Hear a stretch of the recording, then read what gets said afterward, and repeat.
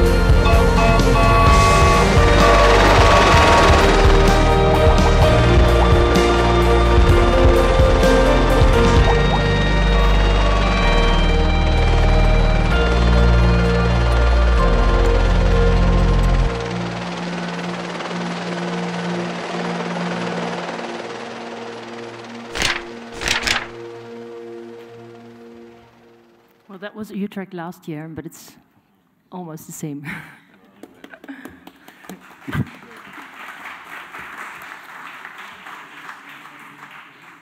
Gracias, Albert. Um, now we continue with our presentation. Uh, I'm going to tell you something about the why. Why we chose, uh, we we've chosen for healthy urban living. Get to the next slide. Yeah, uh, why did we choose for healthy urban living? First of all, because we've got a very um, solid economic basis for healthy, for, for health actually. We've got uh, on our science park several uh, leading institutes uh, on the area of health. Um, I, I, can call, uh, I can name them, but probably you won't know them because they're quite Dutch. But um, I have to mention uh, the Hubrecht Institute for, stem, for their stem cell research, internationally leading. Uh, on the Utrecht Science Park, there are also lots of universities. Uh, one thing to mention is also we recently opened the Center of One Health, which means there's only one health. In uh, Utrecht, we've got uh, medicine studies, and we've got the only city in the Netherlands with veterinary medicine studies. And these together form a One Health cluster.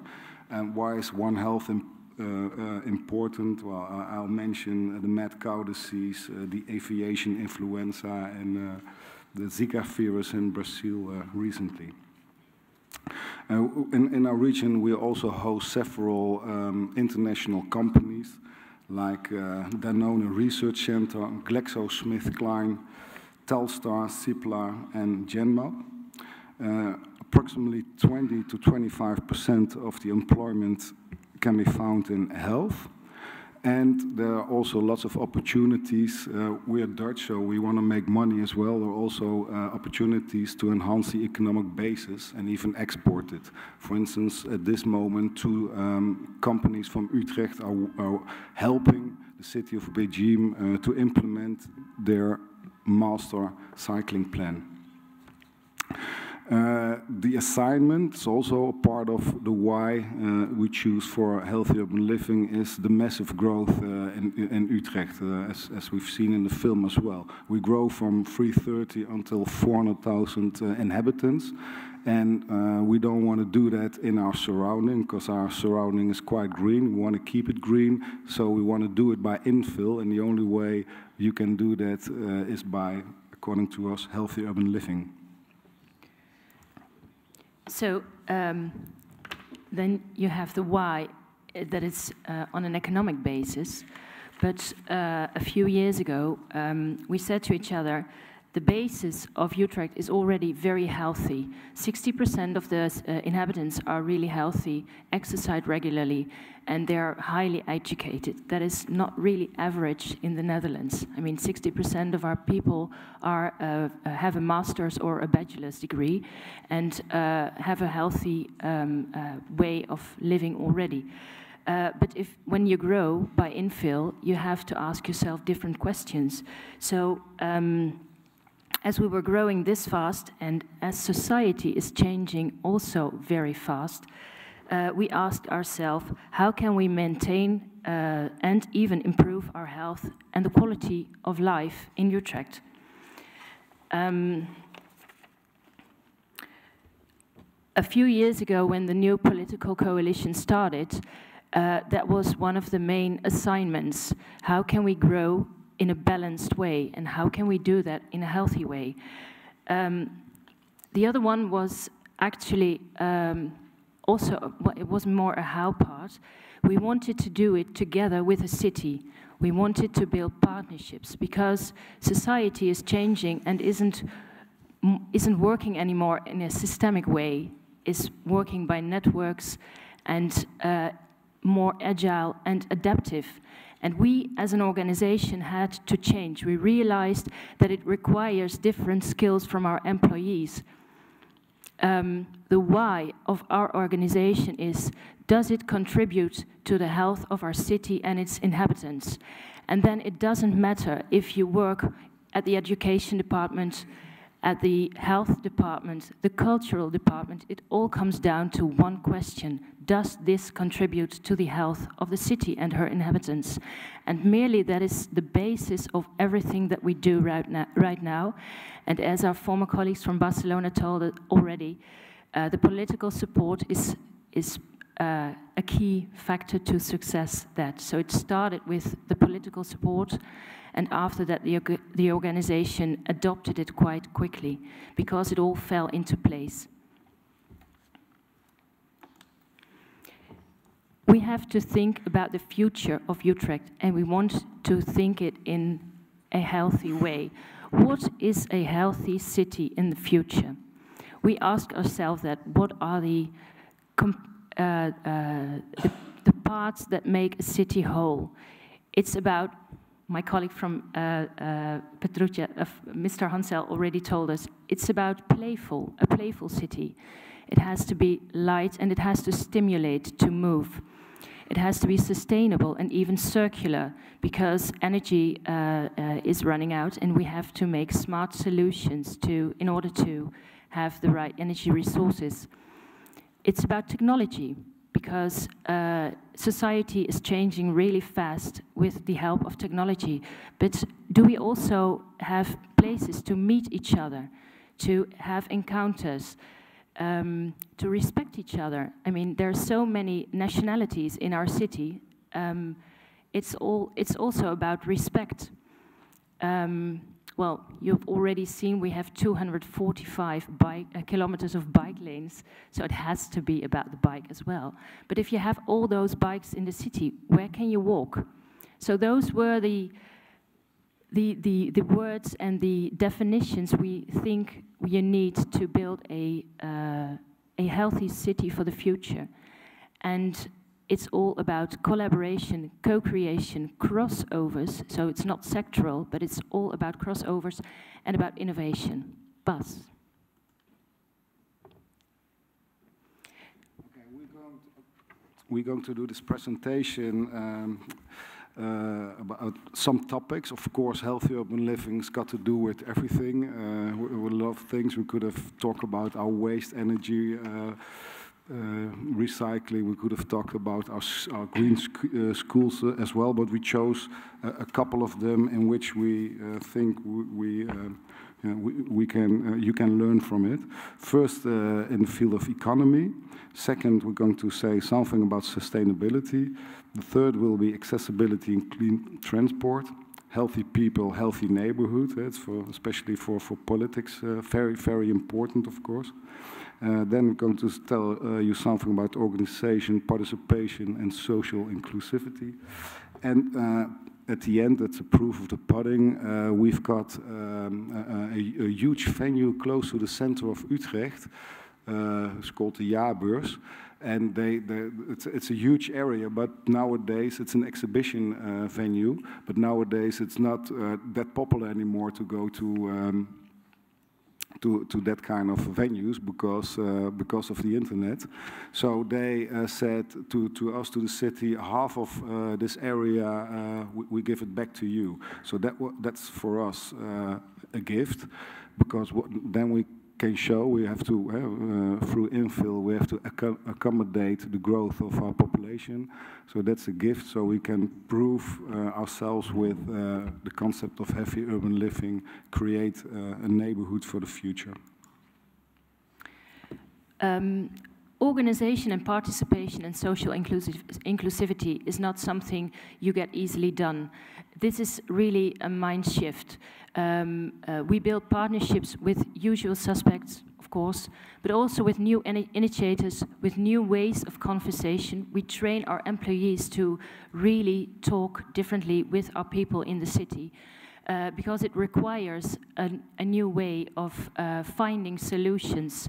We build networks uh, in the region, uh, in the city, and in the neighborhoods and we experiment with new dem democracy because if you want to use the ideas and the innovations of the city, you have to find a way to extract them out of the city. So um, we organize town meetings and city talks, and they're all uh, organized about collecting ideas that make this, the city smarter and healthier. Um, so we're not going to talk about how uh, things are um, uh, not going well, but how we can improve uh, the city and the neighborhoods. And for instance, we had this city talk about uh, uh, the bicycle, uh, the bicycle in the city, and one of the members said there are so many useless traffic lights, and they cause these traffic jams. Can't we just uh, uh, uh, put them um, away? And uh, we collected uh, through social media uh, spots that, uh, that, were useless, and we collected 500 traffic lights that were actually useless in the city. So they're shut down right now, and they're making the bicycle paths more swiftly and fluently uh, to go through the city. That's just one example. Um, we have Urban Future Studios with which we work with uh, startups and students. Uh, we also have uh, we, uh, collaborations between the university and the art academy because um, when you want to uh, look at smart solutions in the city, it's about behavior. It's about playing because people don't want to have instructions. They want to learn by doing. So um, we use the Art Academy to make the city more playful and uh, uh, invite people to, to move uh, uh more and better. Um, we have in our new uh, city office actually a stair, a stairway, and there were some employees who found it very boring. It was all white. And uh, they uh, did a crowdfunding action between, uh, under the employees. And we invited the city poet to write a poem from the first floor to the 21st floor. And so now you can read the poem from upside down and from, from uh, down to up and from up to down uh, every, uh, every floor. And so it makes sense both ways. It makes sense both ways. It's beautiful. So, I, and it works because now I use the stair, and perhaps not from 1 to 20, to, from 1 to 21, but from 11 to 21, or from 1 to 5 or 8. And then every time you read those beautiful lines, you think, oh gosh. so it's, it's about stimulating, inviting, co-creation, and it's always a bit messy. I mean, uh, working in networks, uh, non-hierarchical, is that a word in English? Hierarchical. Hierarchical. Uh, that is always a bit messy. It's not linear. It goes with hiccups and collisions. But it's also, uh, we have, uh, we don't do large goals. We do it by scrums. So every time we get an improvement, we say, okay, we've achieved this, and how can we, make, how can we improve it, and who do we need it with? Bas. Okay. My favorite topic, uh, economics. Um, the region of Utrecht was um, uh, uh, um, elected twice as the most competitive region uh, in Europe. Uh, next autumn there will be uh, the next election, the next, uh, and we we hope, of course, to do it as well as we did. what do we do with healthy urban living in the field of economics? Of course, acquisition. Uh, when we uh, try to attract uh, companies, foreign companies, we wanted to attract companies in the field of, of smart, uh, green and health. Uh, recently, uh, we attracted the Danone Research Center. we also attracted Telstar from, um, from America and Cipla from, um, from India.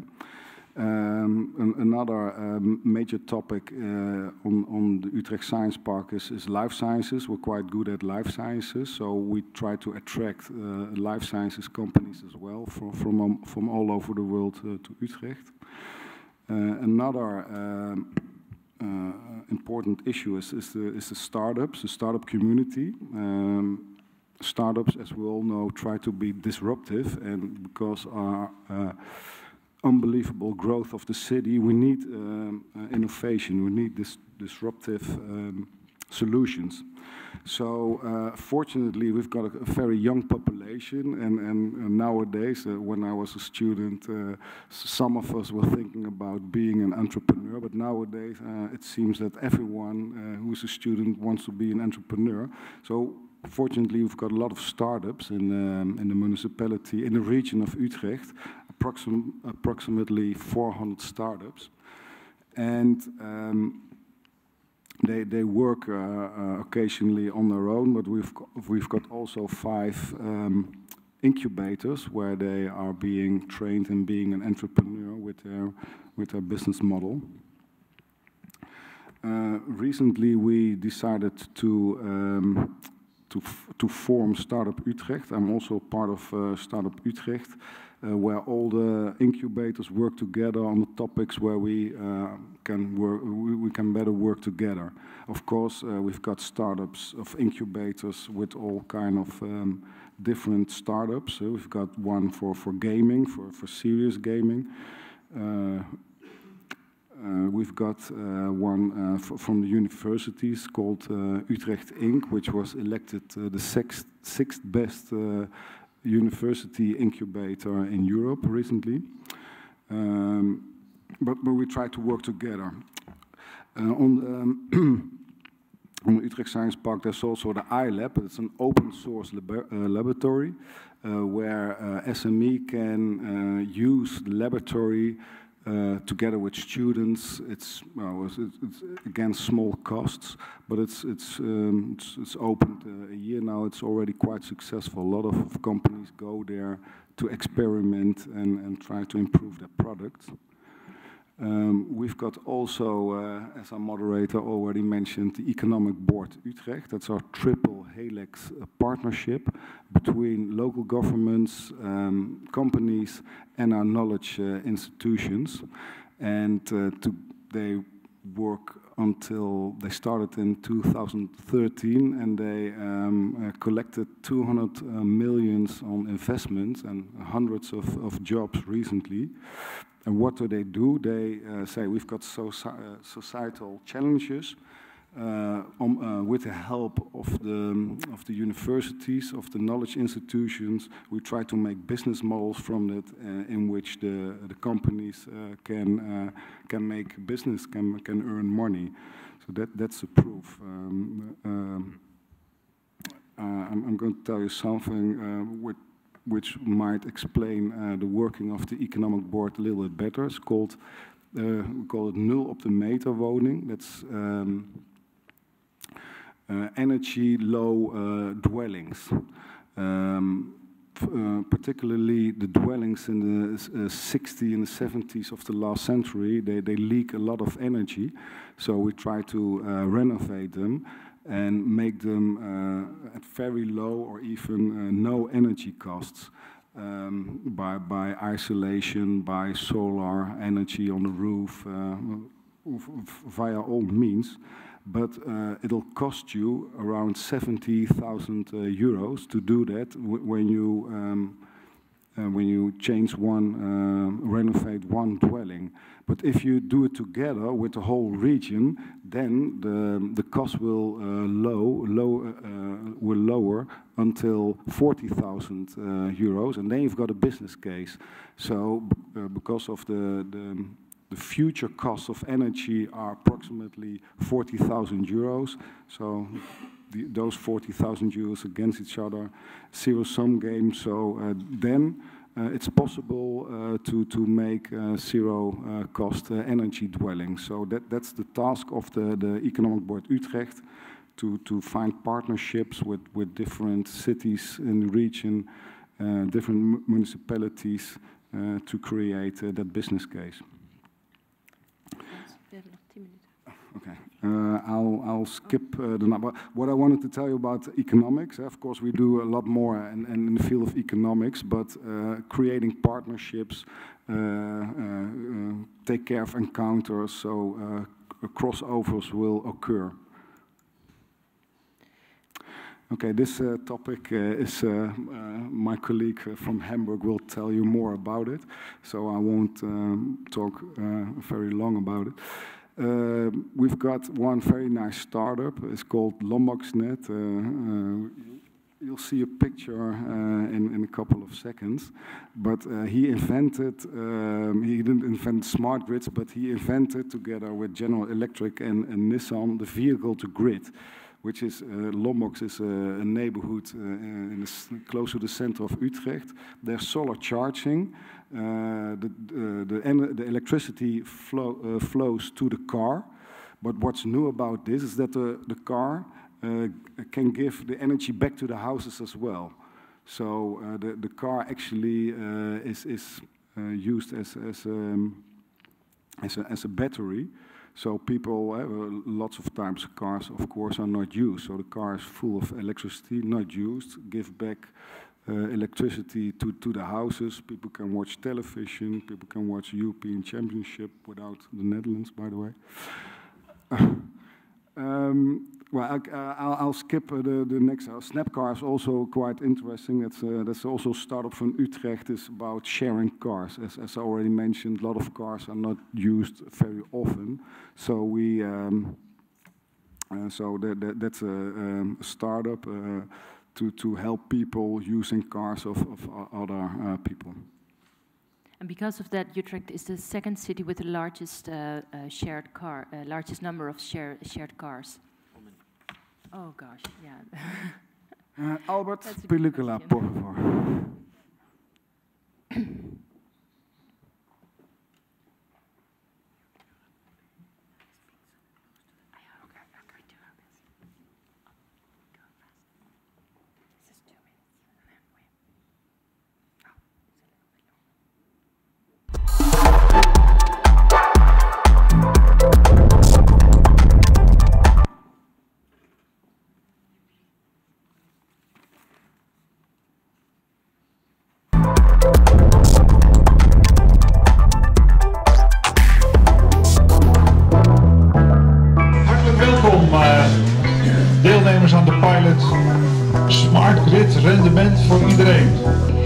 Eerste stap die wij daarin maken is dus in dit geval door gebruik te maken van de meetapparatuur die we bij jullie gaan uitrollen. Vanuit de verdeelstations gaat de stroom uiteindelijk naar jou en mij. Ja, uh, krijg je ook gewoon een schemaatje erbij als ik dat uh, spul in huis krijg? Ja, steeds meer bewoners en uh, collectieven uit de regio's gaan energie. Well, I think this is not working. Perhaps we can skip this one and yeah, move over to yeah. the rest. It's well, it's a very perhaps we can uh, send it to you digitally. It's a very easy way of uh, understanding how it works with uh, smart grid uh, uh, concepts. zelf opwekken. En uh, de energiecentrales zijn nu gericht op centrales die naar huizen leveren en niet andersom. Dus het gaat compleet op zijn kop, want decentrale energie moet er op ieder punt ingeknoopt worden. Uh, honderden plekken in een wijk of in een stad.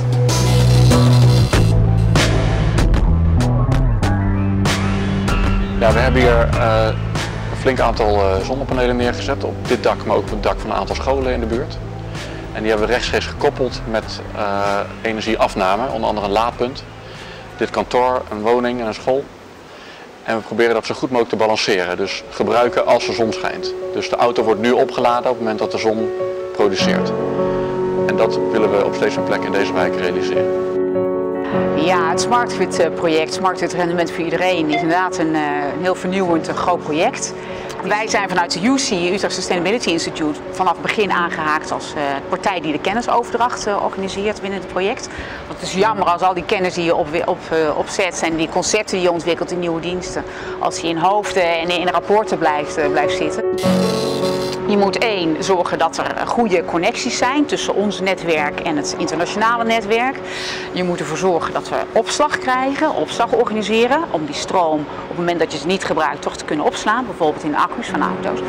En je moet er ook voor zorgen dat de mensen die uh, die stroom opwekken, dat zij uh, uh, die stroom zoveel mogelijk gebruiken op het moment dat die stroom wordt opgewekt. Nou ja, nu kan het net dat gewoon niet aan massale energieopwek of massaal elektrische auto's gebruik. Dus dan krijgen we blackouts. We richten ons specifiek op laadpalen die kunnen laden op basis van zonne-energie. En dan ook real-time, dus op het moment dat de zon schijnt, gaat er extra veel stroom naar de auto toe. En daarmee kunnen we twee pieken in het net oplossen. Ten eerste de zonnepiek, als de zon veel uh, energie geeft.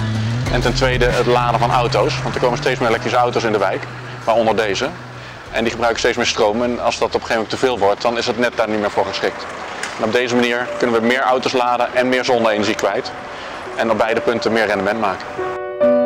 Uh, wat ik zelf het mooist vind is dat je uh, bijvoorbeeld in de wijk Lombok, waar we nu uh, zelf zijn, probeert om zoveel mogelijk in de regio opgewekte energie direct lokaal te gebruiken, zodat je helemaal straks geen net meer nodig hebt, maar het slim weet in te zetten voor energie die je toch verbruikt in de wijk.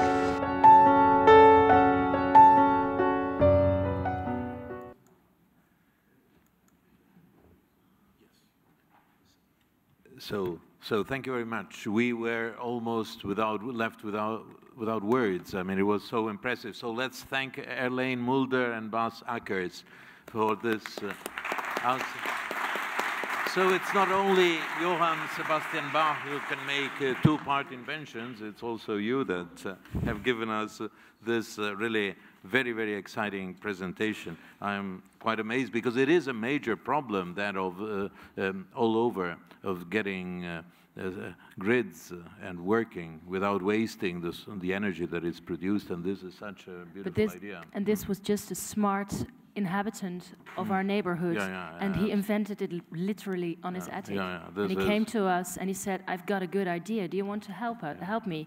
And now he he signed a big contract in Paris at the climate convention. And last week he was in the uh, in the parliament of uh, of the Netherlands, uh, giving answers to uh, hmm. to the members of the parliament. Yeah, very very impressive.